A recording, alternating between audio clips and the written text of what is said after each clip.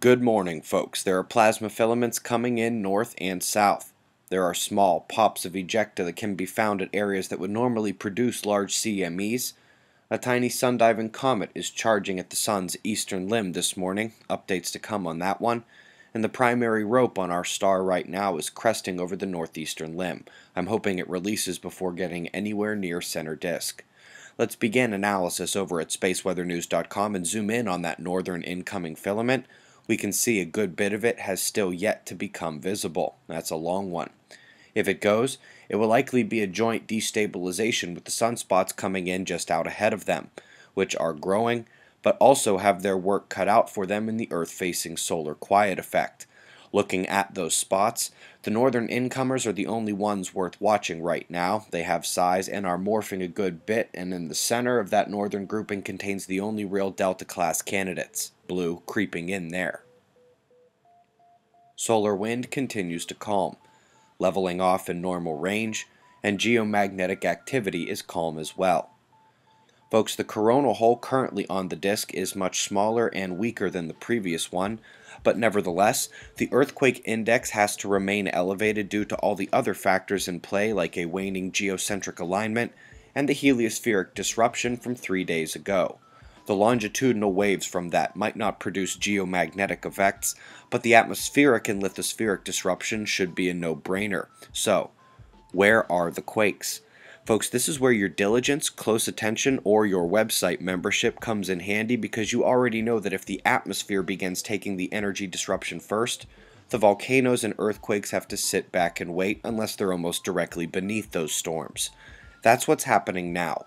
The disruption has gone almost 100% into the atmosphere, leaving us quake watchers to sit twiddling our thumbs until it dissipates. And no sign of dissipation yet Ula and the record-breaking cyclone in the north are still churning along in the Pacific. Northern storms shouldn't even exist right now, and same goes for the extratropical system in the Atlantic, both triggered by the heliospheric disruption.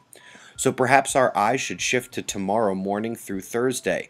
It's when those storms should begin to fade, and one of the primary geocentric and heliocentric geometries comes up, it's just four days away.